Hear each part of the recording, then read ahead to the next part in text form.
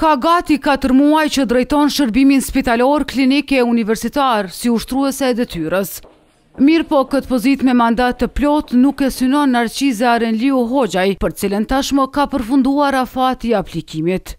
Megjithëkëtë, për këtë periudhë menaxheriale, klinikën më të ndjeshme, onkologjinë e ka vënë në top prioritet. Terapitë tabletare, pacientët që vuajnë nga kanceri dhe që janë nga regjioni i Pejës dhe Prizrenit, shpejt do t'i marrin në këto spitale, pa pasur nevojën për të bërë rrugë deri në Prishtinë. Do të fillojmë shumë shpejt.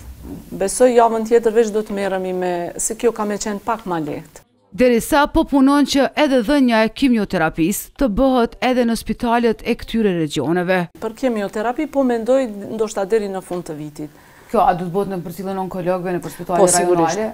Krahas këtij decentralizimi, ku sipas Arenliu Hoxhaj, do ndikojë në evitimin e tollovisë e mbingarkesës në onkologji, në këtë klinikë do të bëhen edhe rinovime e ngritje kapacitetesh.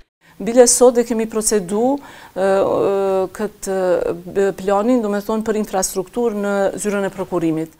Kjo do të digjitalizohet sa i përket kartelave personale të pacientëve. Anise u tha se edhe tani ka mungesë të ilaçeve për kancer. Apo muajt paraprak, ku kemi pas diku rreth tridhjetë për qind të furnizimit me barna, tash e kemi dukshëm ma shumë furnizimin me barna. Kërkoj mirëkuptim, sidomos pacientëve të onkologjisë, ku nuk jemi të furnizuar qind për qind, atë duhet të pranojmë. Krahas kësaj, e para e SHSKUK-së tha se do të investohet në klinika ku ka telashe të theksuara, me infrastrukturë, veçanarisht me tualete.